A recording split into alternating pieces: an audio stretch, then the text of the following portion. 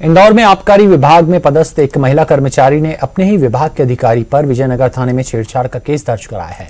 महिला कर्मचारी का आरोप है, आरोपी अफसर उस पर संबंध बनाने के लिए दबाव बना रहा था। साथ ही उसके साथ छेड़छाड़ भी की गई। विरोध करने पर आरोपी ने परेशान करना शुरू किया। यहाँ तक कि जहाँ पुरुषों की ड्यूटी पर भेजने का सवाल था, वहाँ महिला कर्मचारी को भेजना शुरू कर दिया गया। बेवजह उसका ट्रांसफ़र किया गया और प्रमोशन लिस्ट से उसका नाम हटवा दिया गया। मामले में महिला कर्मचारी ने सीएम शिवराज सिंह चौहान से भी न्याय की गुहार लगाई है।